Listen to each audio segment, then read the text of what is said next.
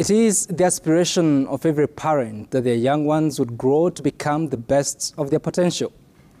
Many of them strive to provide for their children, teaching them about life and helping them cross the bridges that appear shaky or too long.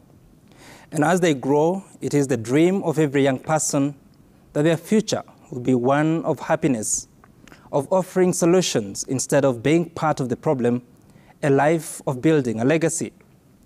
That's what a perfect world looks like.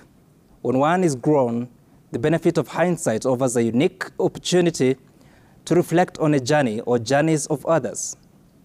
Tonight, I am moved by the young of this nation that have devoted their time, their energies, and their power to dream to hard work. I think of the many motivational speeches they have received from their seniors as they are promised of the fortunes ahead of them should they keep the discipline, consistency, and most importantly, should they put their minds to their education. I think of the 18 million Kenyans that are in the country's education system, from the young boy and the young girl who just joined playgroup or is it baby class, all the way to those hoping to graduate from universities this year. They have done their part. But who are they, where, what are they getting out to? You see, the Kenya population census of 2019 noted that 1.3 million Kenyans were jobless, majority of them the youth. Different sources put the youth unemployment at over 13%. They may sound like just numbers or complicated statistics that we sometimes like to brush off. It is not until you come face to face with unemployment. Now, this week I had a candid conversation with stakeholders in the health sector.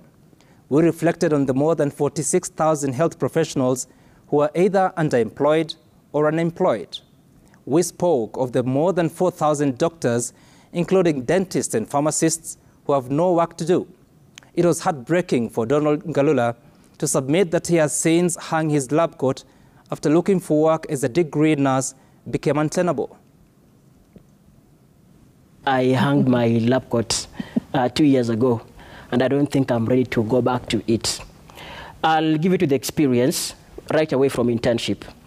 During our year, we waited for eight months for us to be posted, and there are others even right now are waiting. We waited for five months to be paid. Working in KNH, um, during, the, during COVID time, um, I was managing around 36 patients. It's a huge burden.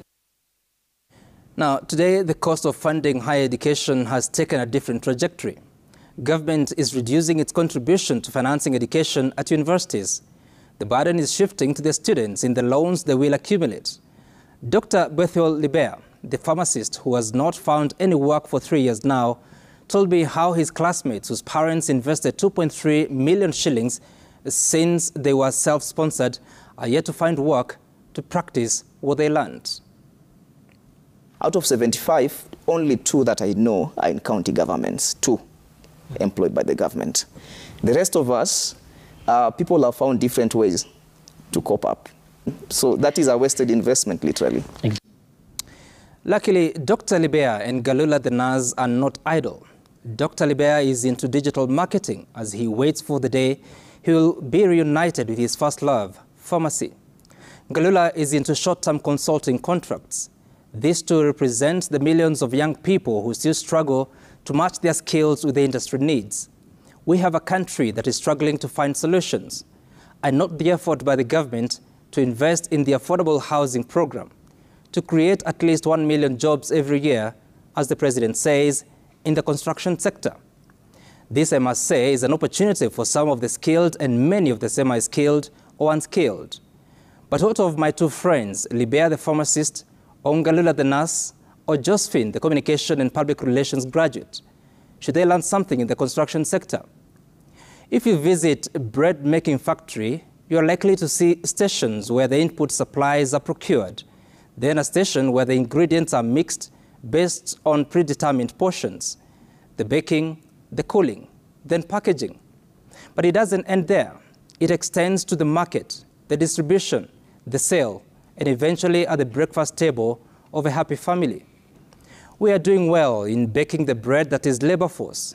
We even have 100% transition from primary to secondary schools as a policy. Currently, an estimated 500,000 students are in various academic years at universities.